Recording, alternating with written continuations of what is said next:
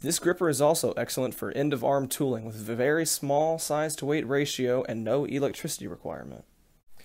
And to top it all off, this magnetic gripper is 100% repairable. The compact magnetic gripper is ideal for gripping ferromagnetic materials such as iron or steel in applications where other types of grippers and vacuum cups are currently being utilized.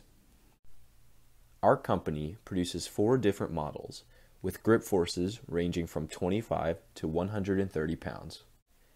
These products will provide safe operation since the gripper will continue to hold the workpiece even with the loss of pneumatic pressure.